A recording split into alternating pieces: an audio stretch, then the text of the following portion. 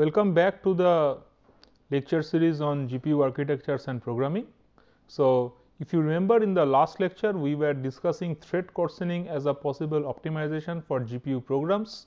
And uh, in a short summary we, we just discussed that uh, what are the good and bad things of coarsening and uh, we just try to motivate why beyond a point coarsening threads too much may not be of help and in that regard we define we are trying to define rather that what is the notion of coarsening factor.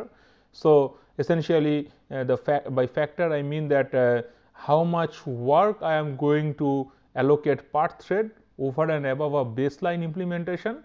So, in that way a coarsening factor is the number of times I am going to replicate the body of a thread. That means the number of times I am increasing the per thread activity uh, with respect to a baseline implementation.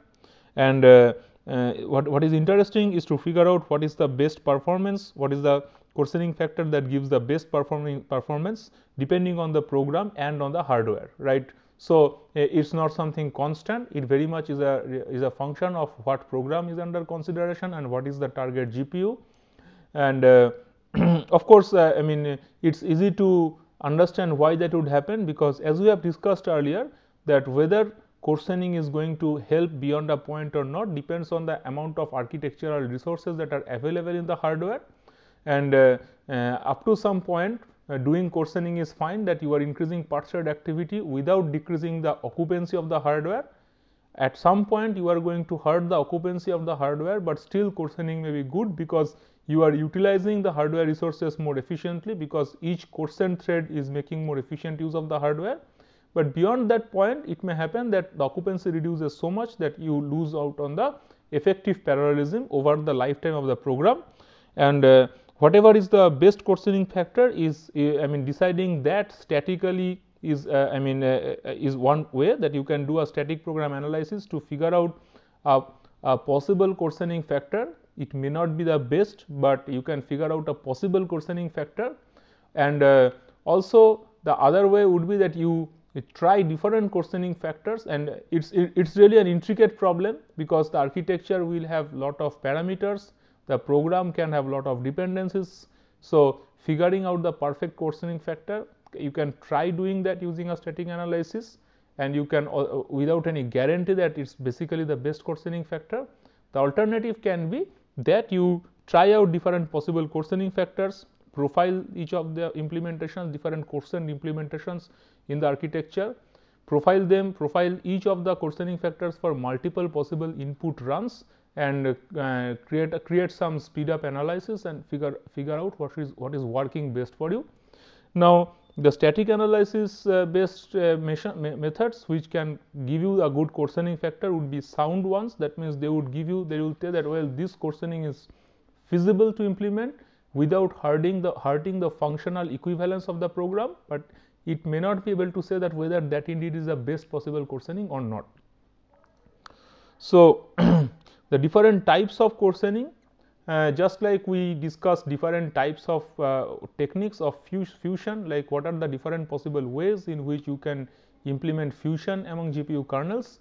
Similar to that there are different possible ways in which you can coarsen a GPU kernel and uh, basically you have to increase the per thread activity. now that can be done at the thread level or at the block level so, when we say that you are doing a thread level coarsening that means increased granularity within a single block of thread. So, essentially you are uh, coarsening threads by giving them more activity per thread, but those are all activities inside a single thread block. The other could be that you do block level coarsening that is you increase the granularity of coarsening across multiple blocks. That means, when you thicken or coarsen a thread you give it more activity not from the original block of thread, but more activity from other blocks of thread. I hope this is clear. Let me just reiterate. So, when I do thread, thread level coarsening, I will coarsen a thread by giving it more activity, but that activity was originally inside this specific thread block inside who, which I am talking about the threads. When I say block level coarsening that means I am coarsening each of the threads inside the thread block by giving them extra activity which is not the activity of the original thread block, but from some other thread block. So, let us first discuss thread level coarsening in detail. So, when I am applying the coarsening, I am applying it at the level of individual threads and uh, so essentially I am combining two or more threads from the same block activities of two or more threads I am delegating it to one thread inside the block. So, each thread block now performs the same amount of work because I have not delegated work from other thread blocks to threads inside this thread block. Uh, since I have not done that, so now each thread block performs the same amount of work, but it is able to achieve that with coarsened threads which are fewer in number. So, I am I am now decreasing the threads per block uh, while doing the same functionality of the thread block. Okay. Uh, but when we do this, each, each of these streaming multiprocessors have their limitations as we have discussed earlier in terms of the registers, the total register file size inside the SM, that amount of shared memory inside this and concurrently runnable thread blocks like how many concurrent thread contexts that SM can hold, right. So, these are the three limiting factors and uh, that that actually limits the total amount of uh, so, uh, total uh, total number of effective threads that will really be launched in the SM after I thicken or coarsen the threads.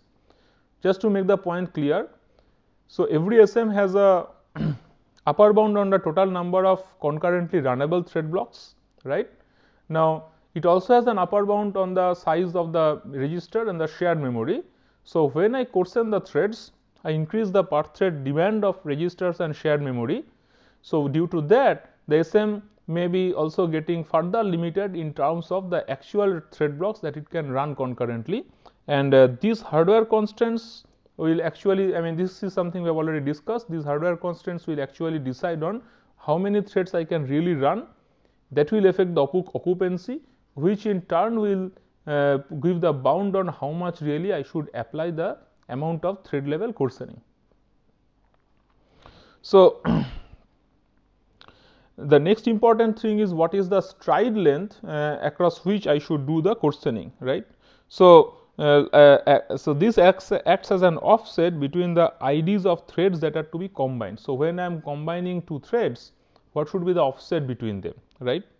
Now, the maximum stride when I allow, so first of all we are still talking about thread level coarsening, but when I am coarsening threads, it is not necessary that I, I, uh, I just coarsen TID with the amount of activities for the original TID and the TID plus 1, but rather I am, I am trying to coarsen the thread with TID, uh, the thread ID TID with uh, activities of original threads with uh, thread IDs being TID and TID plus S, where S is a stride length, right. So, uh, this amount of this stride length uh, can have some limits. First of all, what should be the maximum uh, stride length? It should be less than the number of threads per block in the dimension where the coarsening is applied divided by the coarsening factor. So, let us try and understand what it means. So,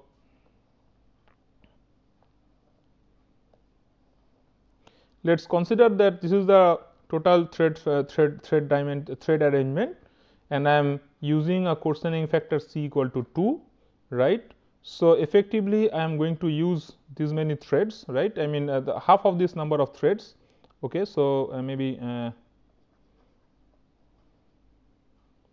yeah. So, let us say I am going to uh, use half of this number of threads and I am doing the coarsening in this dimension and uh, so when I am choosing the stride length. So, the number of threads per block in this dimension uh, let it be some x right. So, divide uh, by 2 right. So, that would be the maximum number of threads thread IDs in this dimension in the coarsened kernel right. So, the maximum stride length for the threads has to be less than this that that is the limiting factor. Why? Because uh, uh, of course, uh, if it goes beyond this then I have a problem because the thread sitting at the boundary of uh, this uh, coarsen, coarsening boundary they uh, those thread IDs plus the stride value would should be on the original thread block boundary right. So, uh, I, if you just consider the number of threads per block in any of any specific dimension in which we are applying the coarsening. So, let us say this is the dimension we are applying the coarsening, you divide it by the coarsening factor. So, that would give you the total arrangement of threads that would be there in the coarsened kernel. Now, when I am talking about the stride length, I hope this is clear. The stride length has to be limited uh, by the original dimension in that uh, in that uh, original threads per block number in that dimension divide by the coarsening factor uh, be because uh, if I consider a stride length uh, which is greater than this then what happens is the threads which are the TID sitting in this boundary those plus the stride length would go beyond the thread dimension in this in, in the original arrangement of the data right. So, the uh, maximum stride length will be limited by this equation, but uh, at the same time what should be the minimum stride length?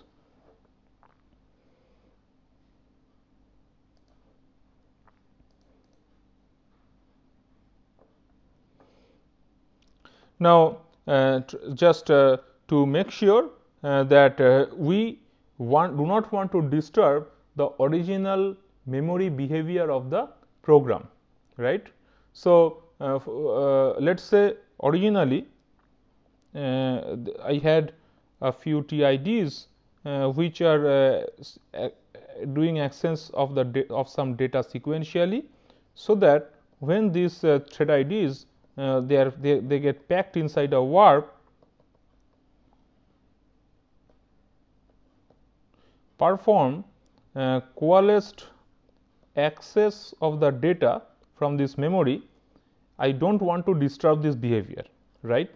So, let us understand that if I make one thread each of the threads in this warp if I am trying to coarsen them by making this thread ID to the job of accessing this thread ID followed by the next let us say again the other thread ID uh, followed by the next uh, and uh, so on so forth then uh, I I may possibly lose out on the uh, memory coalescing.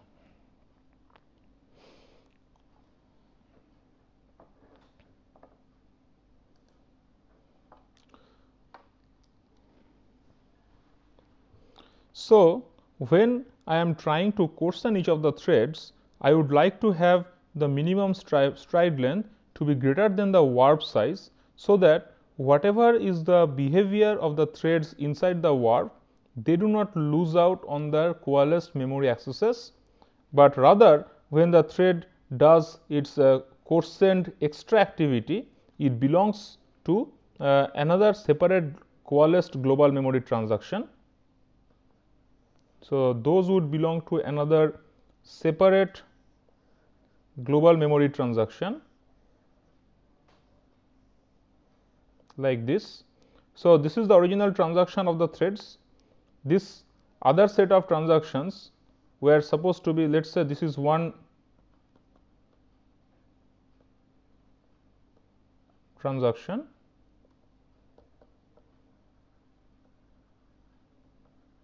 This other transaction. I do not want to disturb this nice behavior.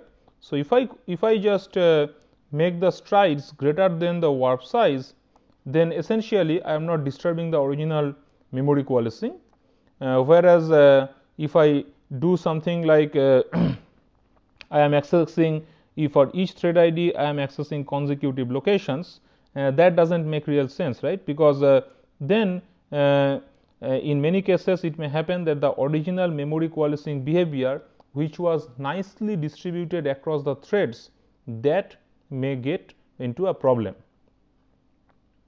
So, I hope with some uh, examples you can actually uh, work, work this out that why we would like to keep the stride length greater than the warp size. So, with this as a motivation let us try to look at a coarsened, vers vers uh, version of our reduction kernel.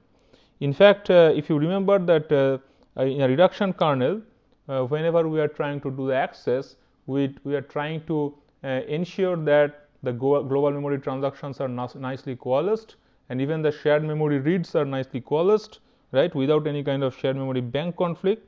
So, we, we let us first go through this example here uh, we are trying to use a thread coarsening factor of 2 with the stride as 32 which is uh, equal to the warp size. Now, this coarsening factor is dictating how many replicas of the local thread ID and global thread ID will be in the program right. So, I hope this is clear. So, we have to replicate these local and global thread IDs in the program, right. Uh, so, uh, since we have chosen a coarsening factor of 2, uh, we need two instances of local thread IDs to access two consecutive data value, two, two not two possible data values for a given global thread ID, right. So, let this TID be the local thread IDs and I is the global thread IDs, right. So, we will need two instances of both of them here. So, we compute this TID 0 and TID 1, right. So, that would actually uh, give us this uh, different uh, local thread IDs. As you can see that the local thread, this is the TID 0 is the standard local thread ID inside the block and we know this because uh, we are just uh, calculating the offset, right. So, we are just uh, assuming that it is all in the x, we are, we are coarsening in the x dimension here, right. Since we are coarsening in the x dimension, with this calculation we are finding out the offset in the local thread ID and then we are doing uh, since we are choosing a stride of 32. So, that would give me the uh, second location from where I will try to do the thread level activity and then I compute I 0 and I 1 which tell me what is the global thread ID corresponding to this local thread IDs right. So, it is just that I know already what is the block right. So, with that uh, block ID and all that I just will add TID 0 and TID 1 observe this multiplication factor of 2 in terms of the block dimension because now uh, the thing is I am going to access the corresponding data points and I am launching half of the threads. So, that that means that I am going to uh, have a half a half value of effective block dimension while defining the thread blocks. So, in order to get the suitable access patterns for the corresponding uh, locations in the data, I will have this uh, multiplication factor by 2 here in the blocks right. So, with this we are able to compute the I 0 and I 1 the positions for which I am going to do the global memory accesses for the respective data points. Now, so this is basically the reduction kernel with thread coarsening. So, what we are trying to do is that first uh, each of these uh, thread ID, uh, these, uh, these uh, global memory locations I 0 and I 1 we are just checking whether they are valid locations for this kernel and then we are bringing them into the shared memory and once we bring them into the shared memory we are doing the usual reduction step right. now, uh, so as you can see this is the loop for the usual reduction step like we have discussed earlier right. Now, just observe one simple thing like just like we have done it here since we have a coarsening factor of 2. So, we will have half of the original number of threads in the x dimension. So, that is why wherever I have block dimension is getting multiplied by 2 right. Similarly, here it is getting multiplied by 2 this divide by 2 is the original code semantics for the reduction kernel right? And then inside we have the original code uh, that you just do a addition in shared memory with a stride of s, but now you are doing it for uh, so this s is basically uh, this uh, strides of which of the for loop in reduction, whereas our choice of stride for coarsening is 32 which is already hard coded here right just to avoid the confusion. So, this s is the effective strides divided getting divided by 2 in each iteration of the standard reduction kernel right. Inside the for loop instead of having one if statement of a standard reduction kernel we have these are a this is a kernel. So, we have two if statements for two different locations right. That is why we have this comment that in the for loop the S data is updated by both the TIDs by both TID 0 and TID 1 right and uh, when uh, we do the write uh, only one of these can be 0 right. So, so the condition for the second the other will not never be true right. So, whichever is 0 for that we will be doing the output data calculation right I mean loading back to the global data. So, with this uh, we have an example of coarsening by 2 for the standard reduction kernel.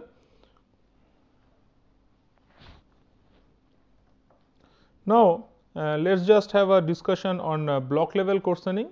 So, as we saw in thread level coarsening, we were doing the coarsening inside the same block and while coarsening we are making a choice of the stride the stride should be such that inside the coarsened kernel the threads do not access locations beyond the thread block size reduced thread block size. So, it was the original block dimension in that uh, coarsening di dimension divided by the coarsening factor that was the maximum possible stride and uh, the minimum stride that was uh, definitely greater than the uh, warp size. So, that any original memory access coalescing uh, that the pattern that was a good part of the original kernel should never get uh, disturbed. Uh, that is why we were not uh, we are always choosing a stride which was greater than the stride length.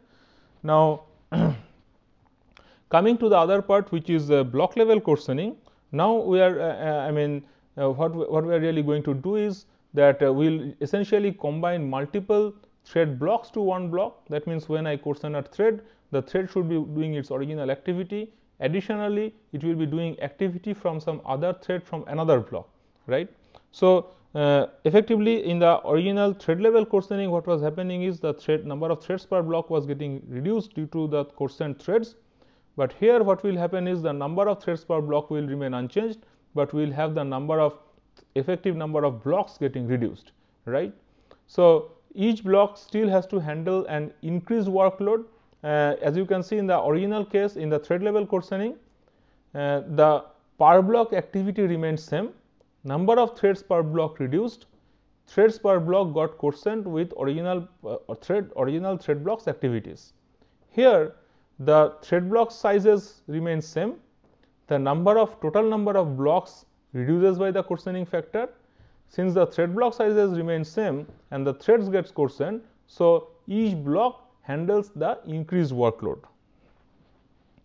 Coming to resource requirements per block in terms of uh, register and shared memory usage, such resource requirements will typically increase. So, when we talk about resource requirements per block, then in terms of registers and shared memory usage, these requirements typically increase.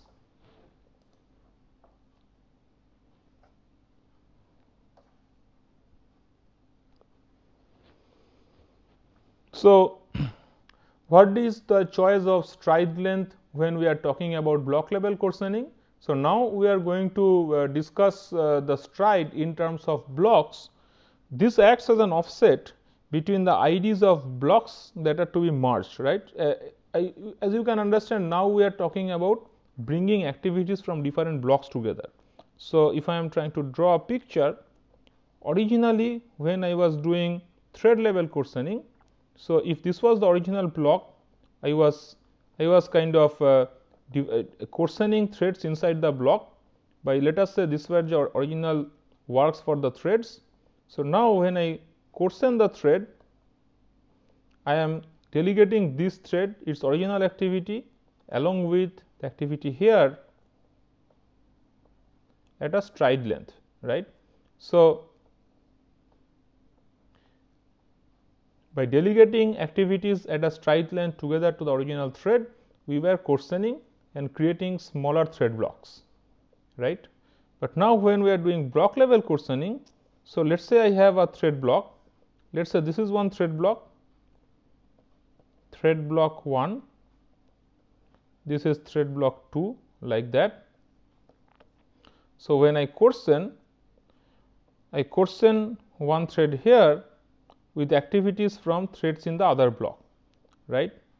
Now, here when I do this my stride length s is 1. Now, this is not general right.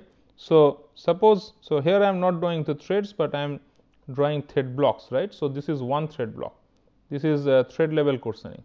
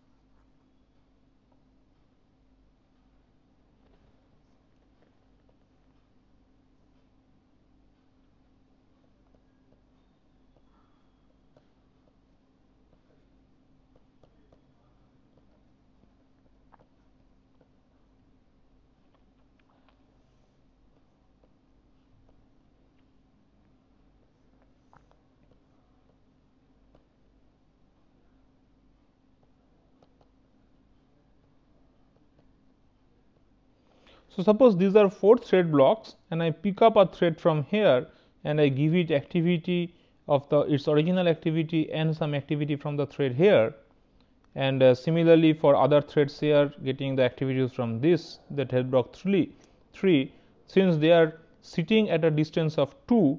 So, here the definition of stride length is the stride across blocks right.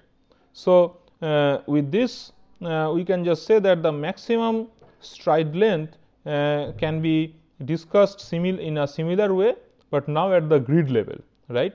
So, uh, if I am coarsening in a specific dimension, so then the maximum stride length will be limited by the number of blocks in the dimension in which coarsening is applied divided by the coarsening factor.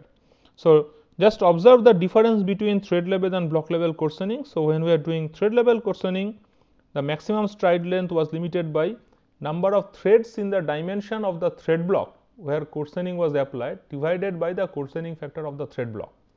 In this case the maximum stride length is less than equal to the number of thread blocks in the dimension, number of thread blocks inside the grid of the kernel in that dimension where coarsening is applied divided by the coarsening factor, right. So, if I say that in this dimension I am applying and uh, the coarsening factor is 2. So, I will be merging this, right. And so, I am uh, so let us say there are 4 thread blocks here uh, and uh, the coarsening factor is 2. So, maximum stride length is less than equal to 2 and when I operate with s equal to 2 I am operating at the maximum stride length possible right. And then we have the idea of minimum stride length. Now, of course, uh, that would be 1 because I the, by definition of block level coarsening I have to pick up threads thread activity from uh, another block the nearest would be the next block. So, the stride is greater than or equal to 1. Now, since uh, the blocks we are now using the using the thread blocks for different thread blocks for selecting threads. So, the stride will have no influence on memory coalescing as the memory access pattern within the blocks are or whatever is the original memory access pattern inside the block that is always preserved. I mean it's it's quite easy to understand because when you are forming warps you are forming warps with threads from inside a block right and since you are coarsening across blocks the original warps their packing their memory access patterns, their memory coalescing whatever is there in as a warp level activity, the, as, a warp level coalescing uh, trans, uh, due to global memory transactions, uh, they do not really change. So, let us take an example of uh, block level coarsening. So, here your local thread IDs uh, remain unchanged. The coarsening factor dictates how many replicas of the global thread ID will be there in the program. So, uh, observe the difference. Earlier you replicated the global local thread IDs and then you actually replicated the uh, global thread IDs, but now your local thread ID is same. You are using the, uh, the reason the local thread ID is same. You, you because is that the local thread ID gives you a specific offset inside the block right Earlier, you were trying to access two different thread level activity inside a single block. So, that would mean different possible offsets inside the single block. So, you had computed two different local thread IDs and of course, their corresponding global thread IDs. But now, your offset will remain same, but for the same offset you will be accessing different blocks. So, for the same offset you are computing two different global thread IDs using two different blocks. Considering here that the stride is 1 and the coarsening factor is 2, since the coarsening factor is 2 in the x dimension, so you are multiplying block ID x, block, x, uh, block, the block dimension x by 2 and then you are going to take another thread at the same offset from the adjoining block. So, uh, the original uh, block dimension by 2 times 2 times block ID x that same thing here you are uh, you are applying to the next block. So, twice of block IDX in that dimension plus 1 right the adjoining block. In that block you go to the thread ID with the same offset.